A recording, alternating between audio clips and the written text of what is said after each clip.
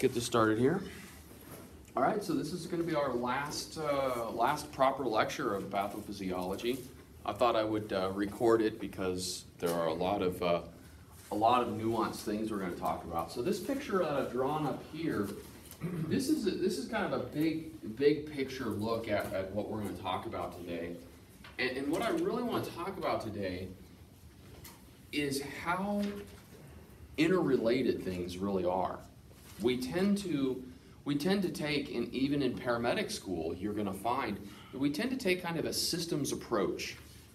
We'll say, okay, this is a cardiovascular system, this is the nervous system, and we tend to take kind of a systems approach, and we look at the, these things in different chunks, and it, sometimes it can be really difficult to make that transition from looking at a patient in chunks to, oh, these are all very inter, highly interrelated. And you guys, of course, uh, I've heard you kind of making jokes about the, the kidneys and how kidney failure just pops up everywhere. I could be talking about uh, something seemingly unrelated to kidneys and, oh, they're the kidney failure. And, and, and so you, you're starting to see just how interrelated things can actually be. And so today, um, we're going to talk primarily about shock, what shock is, and shock states. But to really dive, take a deeper dive into it, um, I want to show you a little bit about how, when, when we have a shock state, what is actually going on when the cells are not able to produce adequate amounts of adenosine triphosphate, you know, for, for whatever reason, right?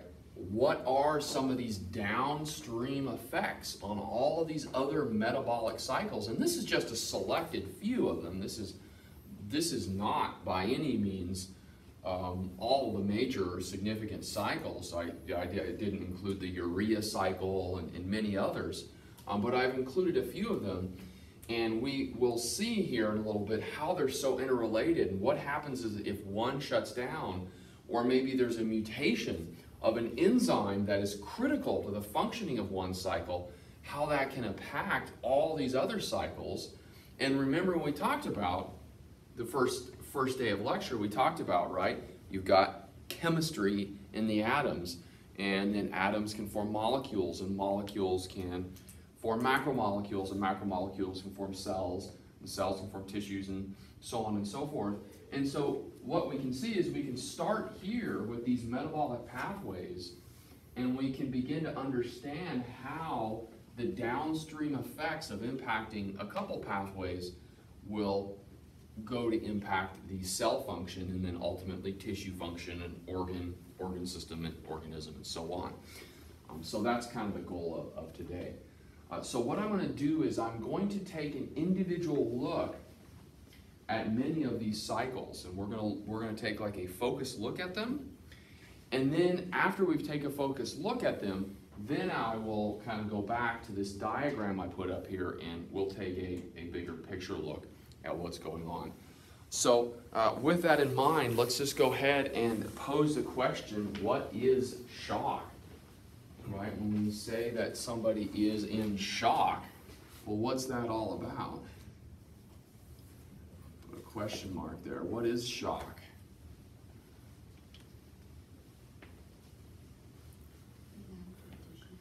Okay, so the perfect, yeah, right. The, the perfect definition of it, right, if, if, if you want to go to the textbook, is inadequate tissue perfusion, right? Um, that's, a, that's, a, that's where we can start at least. So it is a state of inadequate, inadequate tissue perfusion. And let's dig a little deeper into what that actually means. So shock is actually the result of inadequate tissue perfusion, right? Inadequate tissue perfusion is not so much a definition as it is the cause of shock. So shock is a process. Shock is something that the body does in response to inadequate tissue perfusion. Does, does that kind of make sense? And so the question I want to pose to you is, is shock abnormal? Let me ask the question, is shock abnormal? Should we even look at it as being abnormal? Um, I would say no. Not as far as the process. Okay, good. I So, mean, It's the, it's the natural reaction of the body to whatever circumstances Good. or something that it's under. good. So shock, we can say is a normal, it is a normal reaction to an abnormal state of inadequate tissue perfusion. I think that perhaps encapsulates what shock is a little better than saying it is inadequate tissue perfusion. Um, well, shock is actually the constellation of signs and symptoms and downstream metabolic effects that we see and we can detect and we can assess in response to inadequate tissue perfusion. Um, so I always try to, to focus in on it's actually normal, right? It is normal for the human body to go into shock when there's a state of inadequate tissue perfusion, and you'd want the body to go into shock, right? It would be very, very queer if you came on scene and somebody say they've lost a significant amount of blood and you're assessing that patient and they did not have the classic signs and symptoms of shock. That would be very weird, right? That would be a very queer presentation. You'd go, why is this patient not tachycardic? Why are they not cool, pale, and diaphoretic? Why do they not have those classic signs and symptoms? Something must be going on, right? Um, so, yeah. Okay, so let's talk about the, the various things that can cause shock. So, what are some of the various things that can cause inadequate tissue perfusion? Trauma. Okay. So trauma. So there, uh, or, or, or rather, um, we talk about major categories or classifications of shock. Like, what are like the major? The Distributive, cardiogenic. Um, so we've got. So let's talk. Well, let's talk about the easiest one. Like, what would probably be the easiest one to to think about, concept to conceptualize? Hypovolemic. You guys okay with that? And then we then we'll kind of work our way. So we've got hypovolemic, and what is hypovolemic? low volume. Good. It's it's any condition that causes a state of low intravascular volume. Low vascular volume.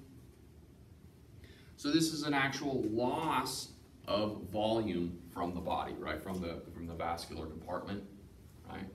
And so what kinds of things would be responsible for hypovolemic shock, if you had to guess? Trauma. Okay, um, not trauma, yeah, hemorrhage. Yeah, good, hemorrhage.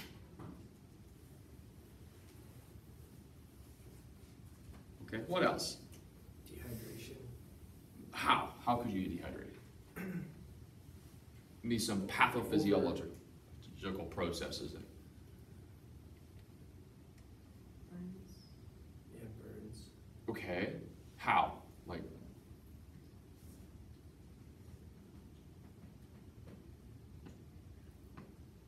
so I get hemorrhage because that's you're bleeding out, right? But how? Uh, what are some other ways you can lose volume? Not drinking. Okay, so decreased intake, right? Decreased Just intake. simply having a decreased fluid intake. All right. Okay, fair enough. What else?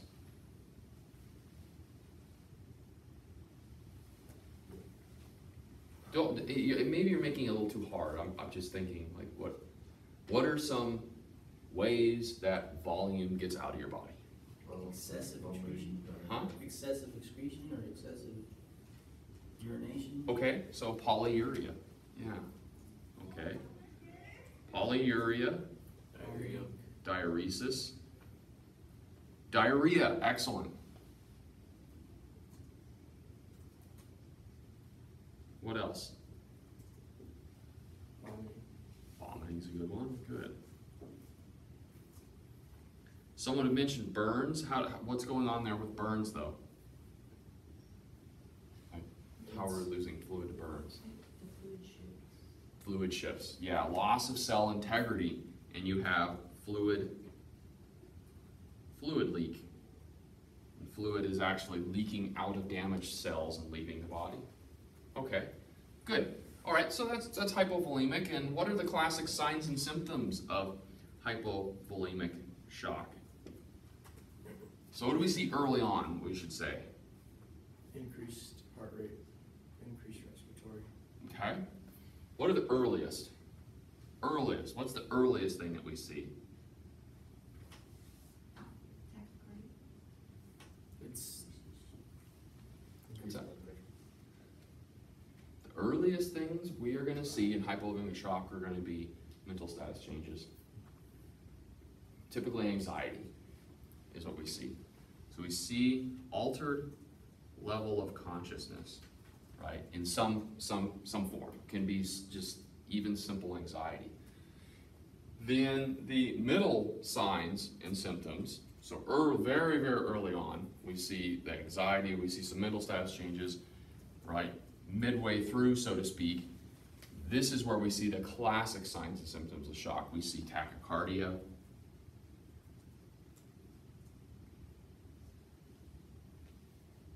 We see increased respiratory rate, and then we see diaphoresis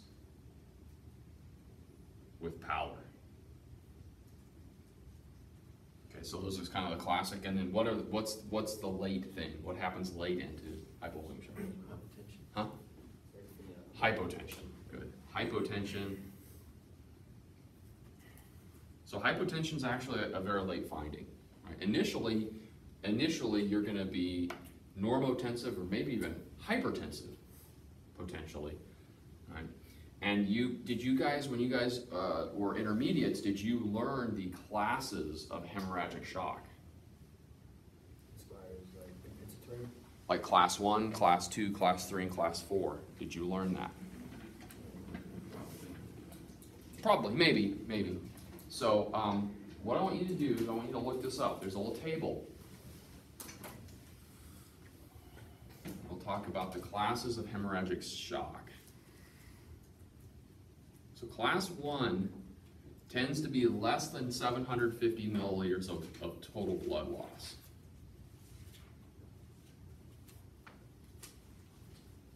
And then there are signs and symptoms associated with that. Class two is about seven hundred fifty milliliters uh, to, I believe it's about one point five liters.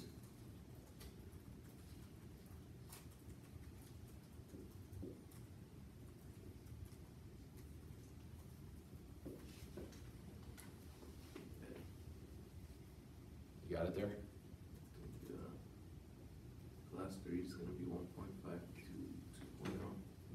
5 to 2. Good. So 1.5 liters to 2 liters. And then class 4 is going to be 2 liters and up. All right. So class 1 is early. You can look at this as early shock. And this is primarily where you're just going to get some altered mental status, some subtle changes in the mental status. Class 2 so greater than 750 but less than 1.5 liters, this is where we see the classic signs and symptoms the tachycardia, the diaphoresis, the pallor. All right, and we don't actually have a lower blood pressure. Hypotension doesn't actually develop until we are in class, what we call class three hemorrhage. Right? And this is where we see hypotension develop. And then class four hemorrhage, greater than about 40% blood loss, or greater than about two liters in the average generic adult 70 kilogram male, is going to be circulatory collapse. You guys okay with that? With the classes? That kind of makes sense? Okay, cool. Um, another thing that happens that is common in hypovolemic shock is, first of all, why do people in hypovolemic shock tend to get pale and diaphoretic? What's the mechanism there? Why though? Why do they get pale? Why? What causes them to get pale and diaphoretic? Now, you could get pale from just losing blood, right? That is possible. But there are some other other mechanisms. The respiratory rate? No. Well, I mean, so with shunting, right, the, the capillaries of the skin no longer receiving blood flow. But why? Cause it's trying to preserve life for. But how is that happening? This is a pathophysiology You're class. talking about like vasoconstriction? Yeah, what's but how's that happening? What's causing that to happen?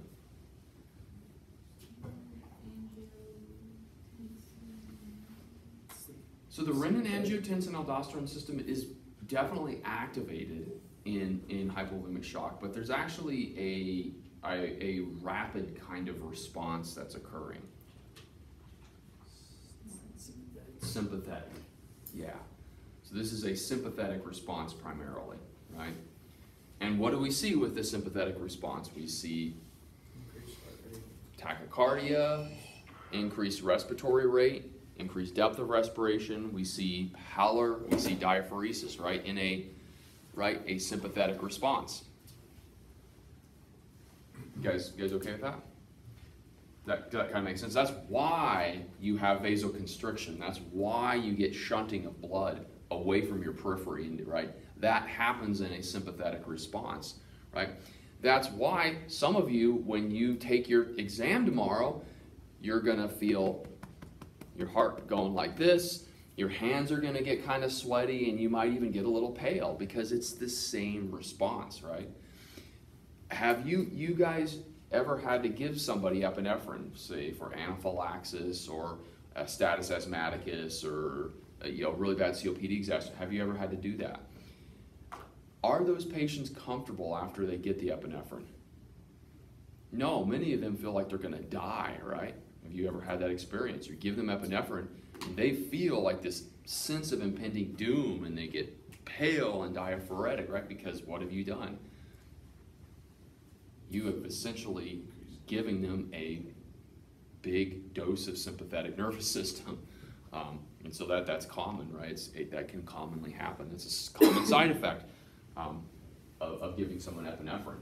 Okay, uh, so there are some things that I want to focus on just a little bit that also happen as a result of that sympathetic response. And these are things that involve the capillary beds.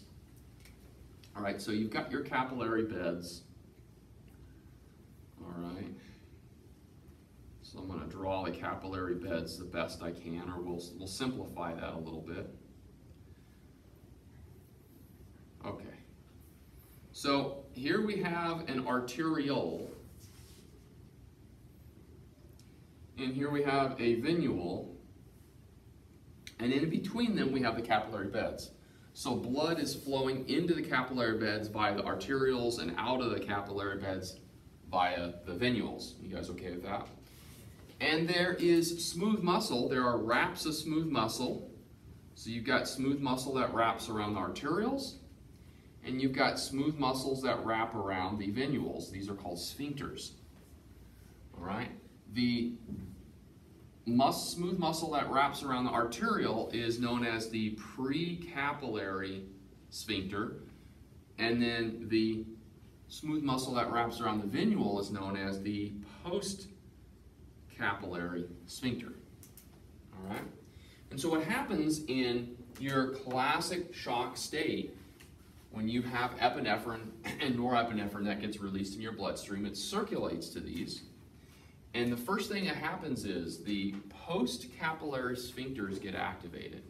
You guys okay with that? The postcapillary sphincters get activated and they squeeze down. Does that make sense? They squeeze down. So the venous system squeezes down, right? And that creates some pressure, right? And so that's going to create some pressure that's going to start shunting blood in this direction back into the arterial system, right? You guys okay with that? Does that, does that kind of make sense? So step one, post-capillary sphincters squeeze. Now that can do something unique to the patient's blood pressure. Okay, so is this, uh, so this is primarily impacting the arterial system, right? You're getting some back pressure on the arterial system. So what can happen with these patients is their diastolic pressure. So remember, diastole is primarily what? The pressures are on relaxing. Well, when the left ventricle is relaxing, right? That's the pressure at rest, basically. Yeah, yeah. Yeah, so that's that's essentially the the pressure within the arterial system, right? That the heart is kind of over. That is, is in some sense an indi- indication of afterload, right? What the heart is in systole, what it is pushing against. So what can happen here when these postcapillary sphincters constrict is they can cause an increase in the di- diastolic pressure. So the diastolic blood pressure has a tendency to increase in people with shock, right? And in fact, diastole, or the diastolic blood pressure, is often an indication, it is often a mirror of what might be going on with the sympathetic nervous system, right? And so what can happen is, as you go further and further into your shock state, what happens? You start losing volume, and what happens to systole, the pressure that the left ventricle is pumping blood out, right? It's going to decrease. Diastole may not, the diastolic may not decrease as much. Is that what they're talking about, the narrowing? So you're going to have a narrowing of what's known as the pulse pressure, Right. right? The difference between systole and diastole, right?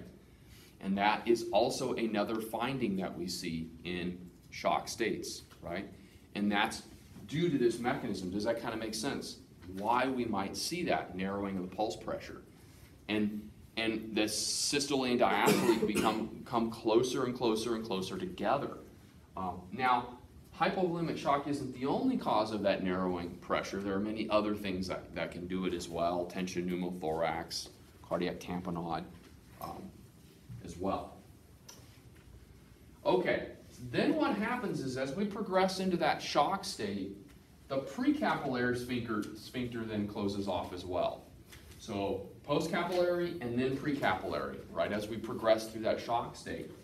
And then as we progress even further into that shock state, and the body loses the ability to really compensate, what happens is both of these sphincters just kind of poop out, so to speak. They're just like, we can't do this anymore, and they both open up. And what can happen is all this blood that kind of got caught in the capillary space that wasn't really moving around, that's hypoxic, that's acidotic, that has lots of, of cellular waste products that have built up into it. Well, what happens? Well, that stuff then gets washed out into this the central circulation, right? Um, and so now we have all, all these wastes, these acidic uh, byproducts of anaerobic metabolism, um, etc., um, going into the central circulation in the later stages of shock. Um, and obviously that can compound the situation pretty, pretty substantially, right? You're gonna see the patients tend to become much more acidotic at this point, right? Because you've got a lot of lactic acid that's getting flushed out in there. Um, they can have like uh, lots of potassium ions that built up in there, so you can have electrolyte imbalances and so on.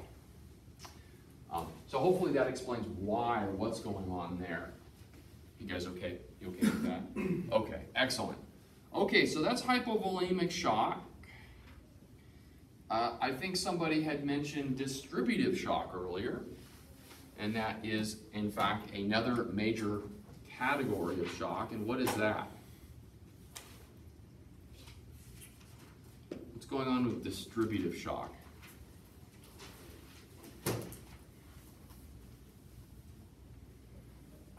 There's subclasses to it. There are subclasses, but like, what's the, uh, right, the high yield, so hypovolemic is simply low vascular volume with all this nuance. What's the, what's going on with distributive? Could be like spinal shock. But what's going on there? Like, yeah, well, that can happen with hypovolemic as well. But like, what's going on? I mean, it's, it's, it's still a sh- shock due to loss of volume, but it's distributed, it's the way it's distributed to the body. Well, are you losing volume? In, in some places, maybe. Are, are we losing volume from the, the body though? I should say, it's not le- volume's not leaving the It's body, not right? leaving body, it's What's So going it's like, on? uh, It's like fluid shifts. Fluid is being shifted into other areas potentially. It's being redistributed, right? So that fluid is not in the vascular space, or the vascular space itself has what? Has become larger. The container has become larger. And did they did when they talked about perfusion, or when you guys were taught about perfusion, were you taught about kind of the three major things that form perfusion? You've got the pump, you've got the pipes, and you've got the fluid, right? Does that make sense? And were you guys kind of taught that analogy? Probably. It's a fairly common, uh, common analogy. So with hypovolemic shock, that's more of a fluid problem, right? You're losing fluid. All right, so that's a hypovolemic problem. Well, distributive shock tends to be more of a pipe problem.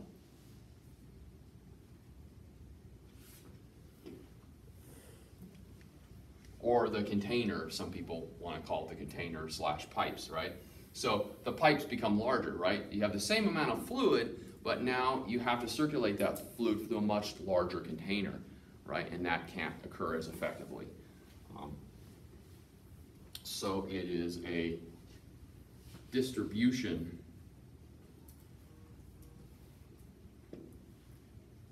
pipe problem, we'll say.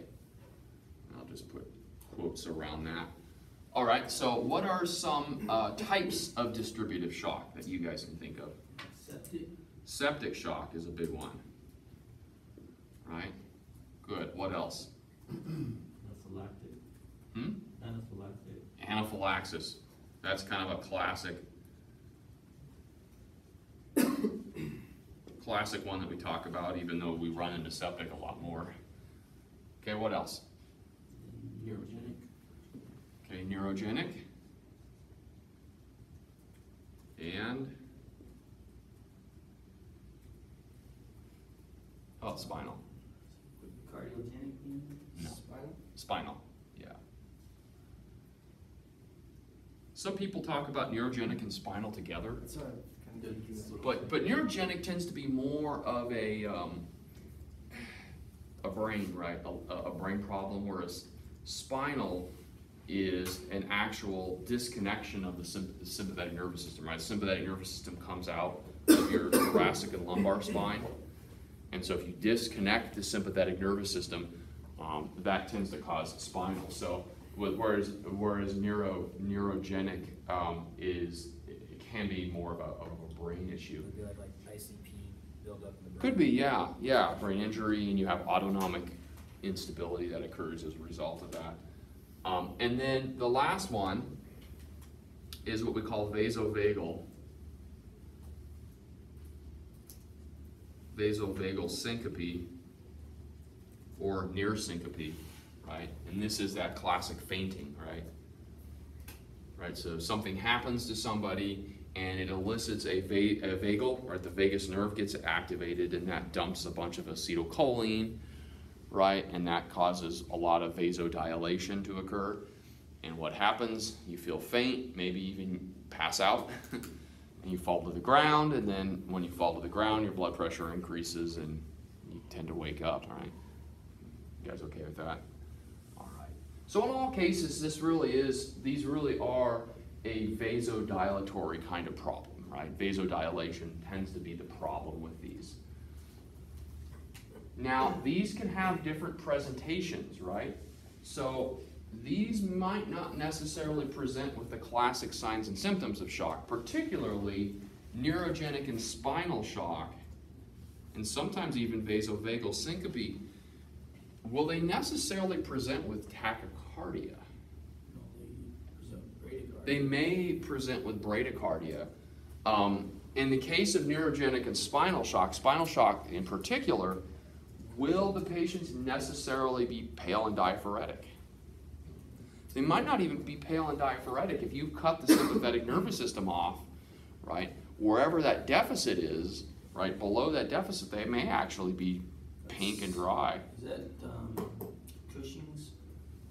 No. Cushing's triad is a, is, is a, a, tri, a, a three, a triad of, of findings that suggest a herniation. Bradycardia is part of Cushing's triad, but then you've got two other components, respiratory changes and um, so on. Right? So you're a classic spinal shock patient, right? If they have a high spine injury where you cut the sympathetic nervous system off, right, bel- below the level of that injury, you may see you may see a patient pale and diaphoretic above the injury, and then below the injury, um, that diaphoresis and pallor may actually go away. Does that that kind of make sense? Um, some of these patients may be very warm, right? If they're septic, for example, right? Septic shock patient may present warm, right? They may not be cool, clammy, diaphoretic. Um, they can be, particularly in the later, right, in the later stages of septic shock, as they begin to decompensate. Um, and some people even say septic shock can have different phases. You got your warm phase, or we call your hyperdynamic phase, and then your cool phase, and your, your, your hypodynamic phase. So distributive shock can have some different manifestations, but we treat it typically like a um, pipe problem, um, which means that yes, we can look at giving some fluids. Right, we may need to give some fluids, but another important part of treating distributive shock is to do what? Is to constrict, is to make the container smaller, right? So medications that can do that, that can impact those pipes, right? So alpha, or alpha agonists are gonna be important. So medications such as, huh? Levophed thing. or norepinephrine, yeah. Epinephrine can do the job as well, but norepinephrine is often kind of a go-to agent, say, for septic shock. For anaphylaxis, epinephrine tends to be our go-to um, agent.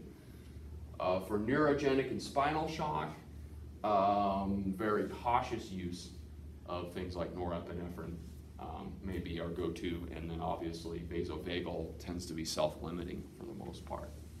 Okay, you guys good with that, with distributive shock? All right, what's the next major category? Shock.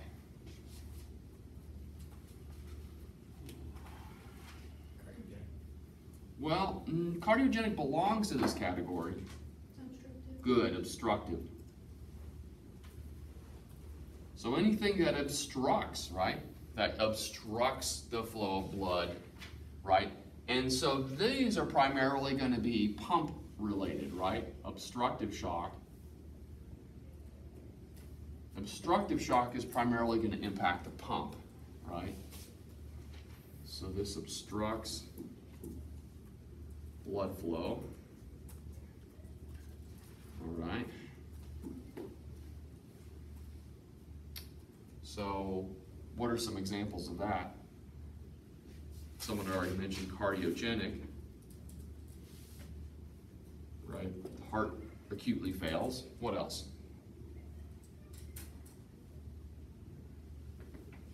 Yeah.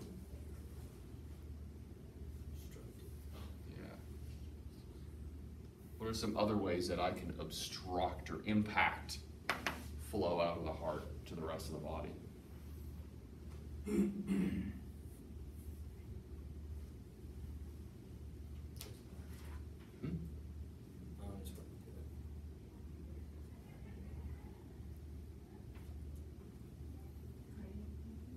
Tamponade, yeah. Tamponade, absolutely. Yep. Right.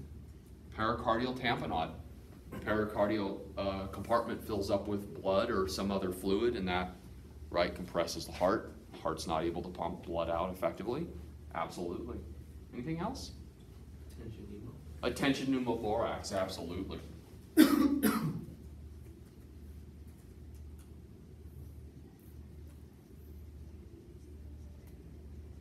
A tension pneumothorax can absolutely do that, right? Particularly on the right side of the heart, right? It can impact um, preload. To the right side of the heart. And just large clots, right?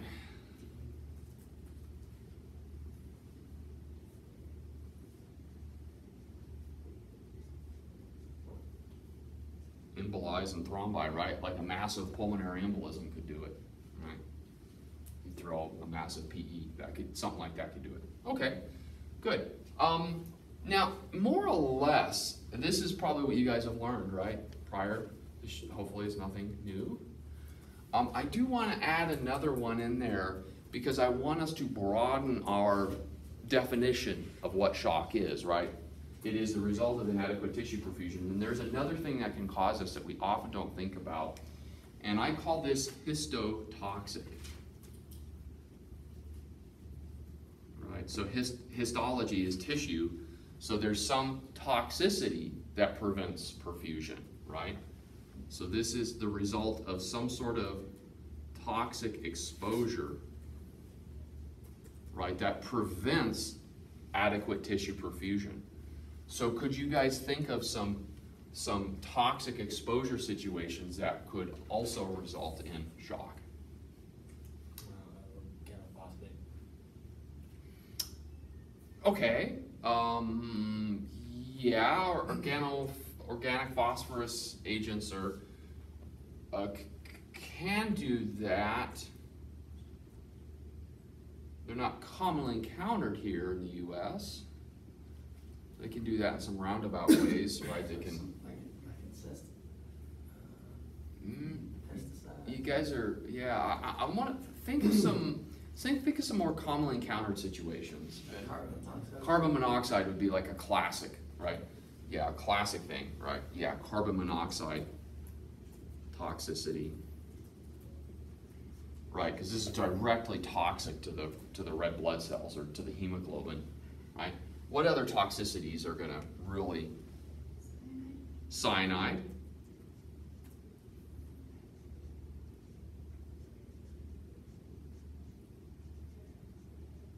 Good, and you different cyanide forms. It's not not very very common, but but certainly you can do it. Anything else you can think of?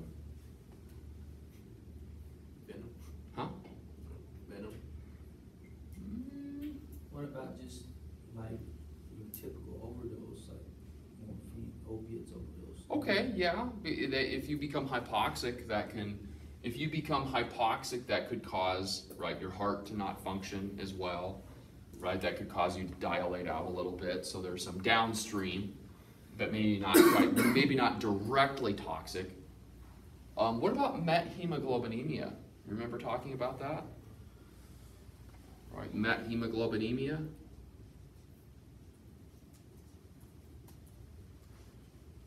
right, where the hemoglobin gets turned from its plus two state into its plus three state, the iron, and it can no longer bind to oxygen. So if somebody gets exposed to uh, like a local anesthetic, like let's say you're in the ER and you're helping uh, do a procedure on somebody, and they use um, some some benzocaine spray, right? Spray the maybe they have an abscess, like a peritonsillar abscess or something like that, and they spray the back of their throat with some benzocaine to numb them up so they can they can go in and, and, and do a drainage of that abscess. And then that benzocaine gets absorbed and it causes methemoglobinemia to occur in that patient, right? Um, that's that would be kind of a classic way that that can happen, and, and it's pretty it's pretty nasty when it does, you know. And, um, um, it'd be really cool if you were the medic helping out on that procedure and that patient's starting to get anxious and their heart rate's going up and their, their saturations are going down. That'd be really, really cool for you to go, oh, this is that's benzocaine spray, this is methemoglobinemia. Let's get the methylene blue on board now. Okay, cool. All right. So there we go. Uh, are you guys good with that? Does that, that kind of make sense? Okay, so now that we understand shock at a big, so this is kind of a big picture, right? Kind of looking at the organism side of the house and some of the, the big picture signs and symptoms. Let's now go to the other side of the house and let's talk about what is going on at a cellular and subcellular level in a shock state. And so to understand that, we have to understand how our cells produce energy. And how do cells produce energy? Or first of all, what is the primary fuel, the primary energy currency uh, within our cells? Adenosine triphosphate, right? High energy phosphate molecules, ATP. So the question is, how do our cells make ATP?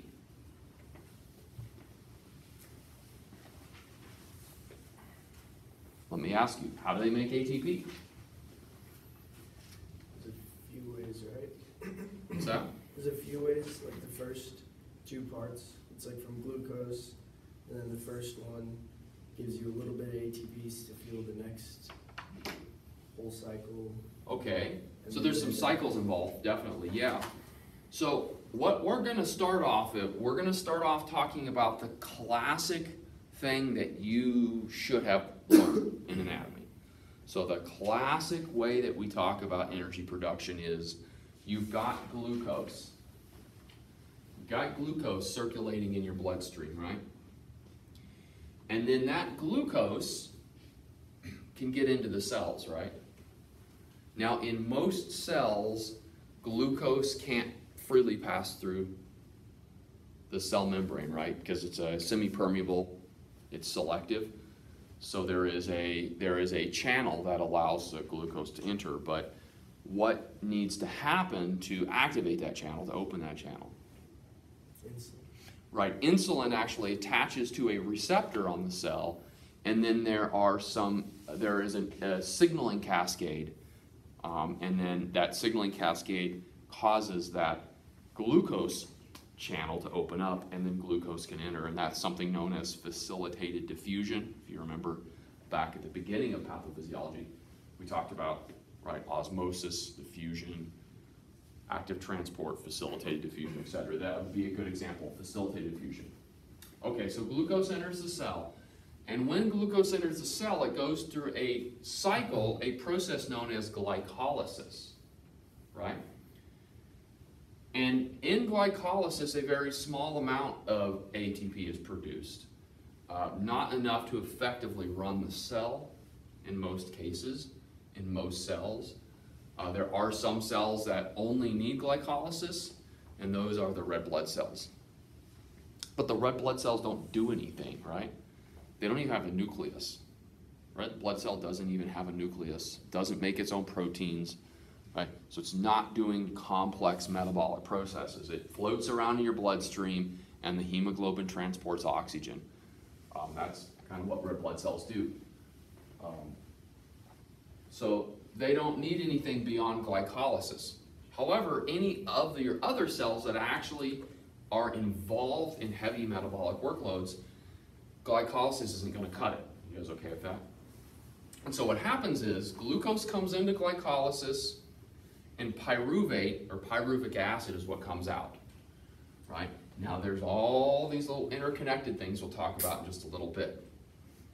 All right, so glucose comes in, pyruvate comes out. You guys good with that? Now, as long as the cell's functioning normally, what's going to happen is that pyruvate, for the most part, is going to go into another cycle. And that cycle is going to occur within the mitochondria of the cell. You guys know what the mitochondria are, right? The mitochondria are a very important organelle within the cell. These are sometimes referred as referred to as the powerhouse of the cell, right? And there are two very important cycles that occur within the mitochondria. And the first of which is something known as the Krebs cycle, or some people will call this the tricarboxylic acid cycle, or the citric acid cycle. We'll stick with Krebs for the sake of simplicity. So pyruvate comes into the Krebs cycle, and there are a couple things that happens in the Krebs cycle. The first thing is carbon dioxide comes out as a waste, right?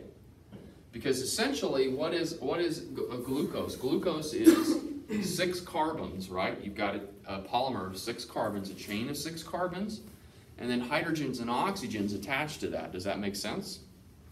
Right? And pyruvate is is is a modified glucose molecule. But you still have that six carbon chain. And here in a few minutes, I'm gonna actually pull up diagrams that are gonna diagram each of these cycles in all their gory little steps, right? Um, but this is a bigger picture look at that right now. All right, so the pyruvate comes in and we start tearing the hydrogens off of that carbon chain. Does that make sense? The hydrogens start getting tore off. And so what you're left with is oxygen and carbon, right? And that forms the carbon dioxide waste that comes out of the Krebs cycle. You guys okay with that? So that's where all the CO2, remember we talked about CO2 transport and how its importance in acid-base balance. That's where all the CO2 is coming from, is the Krebs cycle. Okay, so what happens is those hydrogens that get tore off, those hydrogens get attached to special transport molecules. And these transport molecules are what are known as coenzymes. And so in some cases, for an enzyme to function properly, another molecule needs to come and modify that enzyme in some way to help it function properly, and that other molecule is known as a coenzyme. And so two of the most important coenzymes are NAD plus and FAD. And so NAD plus and FAD come in, they pick up those hydrogens, and they become NADH and FADH2. You guys okay with that? So they pick up the hydrogens, and obviously the electrons associated with the hydrogen, and then they shuttle those to another cycle known as the electron transport cycle. And again, this is the second major cycle that is, that, that is occurring within the mitochondria. You got, you okay with that? And what happens is in the electron transport cycle, the hydrogens get deposited kind of in a reservoir, if you will, right? They get deposited in a reservoir, and so you have this big reservoir of, of hydrogens, hydrogen ions, more appropriately. And then what happens is that electron comes in, and the electron has some energy associated with it, right? And what happens is that electron kind of gets handed off to different proteins. And as it gets handed off to one protein and another and another, the, eh, the, the energy of the electron decreases. So it's giving up some of its energy to power those proteins. They're not known as cytochrome proteins, right? And ultimately, what happens during electron transport is the electron is transported down those proteins, and the hydrogen ion gradient that's created is used to produce large amounts of ATP. You guys okay with that? Right? Now, what happens is you've got a lot of hydrogen ions and electrons that start piling up as waste. Right? They get used. Once they're used, you have them as waste, and something needs to come in and eliminate that waste, right? That's, or it'll be a problem. And the thing that comes in is oxygen. So oxygen comes in, right? And oxygen can chemically bind with the hydrogens and the electrons to form water molecules.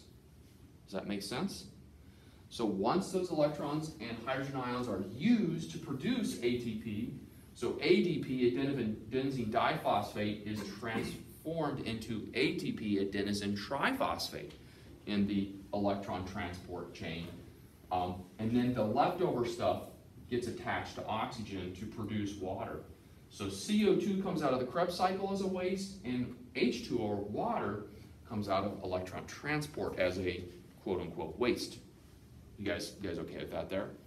Okay. And then you make lots and lots of adenosine triphosphate. You guys good with that?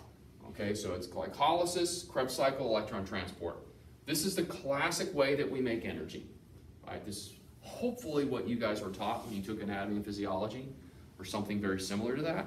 Right? That's a classic way we make energy. So let's now talk about what happens in a shock state. So in a shock state, what happens? I develop inadequate tissue perfusion, right? Which means what? These cells are not what? They're not being perfused, they're not getting oxygen, right? They're not getting adequate amounts of oxygen. So what's gonna happen to electron transport if it's not getting enough oxygen? It turns off. it turns off, it quits working, right?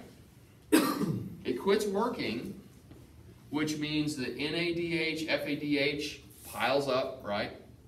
And it backs up into the Krebs cycle, and what happens to the Krebs cycle? Creates lactic acid. No, it just it quits working, right? It doesn't work effectively, right?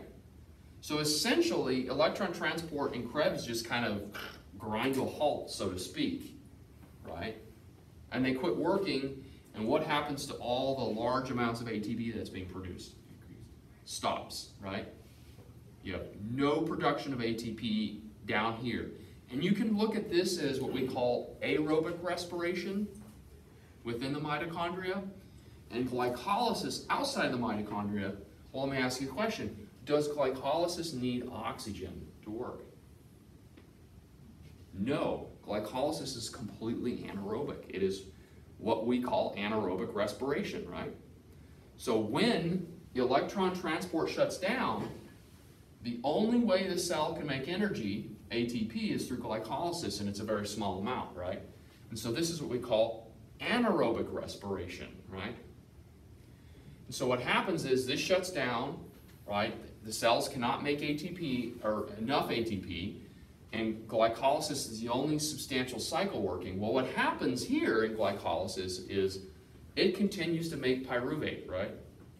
Because it doesn't need oxygen to make pyruvate. But here's a question Does the pyruvate go into the Krebs cycle? No, it can't go into the Krebs cycle, right? Because this is all shut down.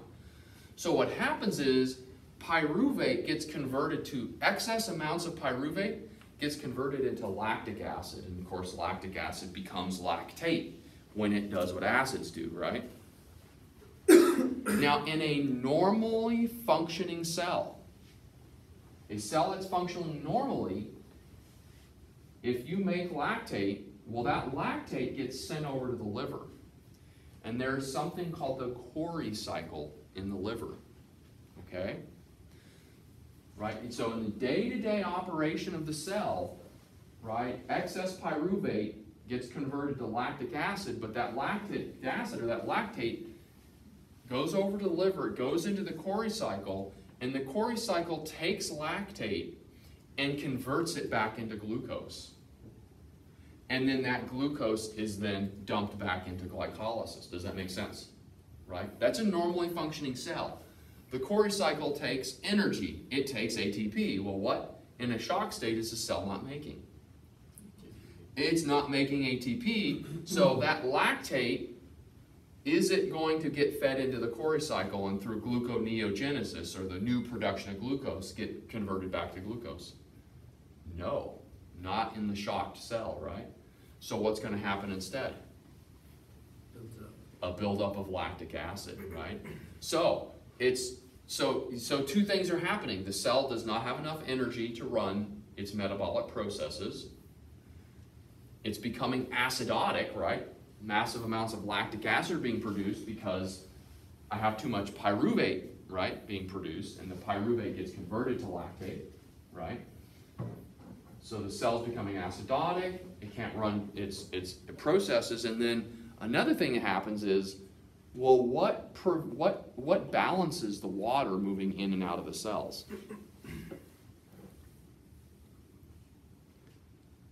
Like what keeps the water and ion gradients acceptable? The sodium potassium pump, right? You guys remember learning about the sodium potassium pump? Well, that sodium potassium pump needs energy, right? Well, it's not getting energy, so the sodium potassium pumps begin to fail, and sodium begins rushing into the cell, pulling water into the cell, and so now this shocked cell begins to what? Begins to swell, and it begins to start to rupture, right? And this is how cells die in a shock state, right? At least at the big picture. Does that does that make sense? You guys okay with that there? Awesome. Awesome. All right, where are we at time wise? Uh, almost an hour. How about we take a break?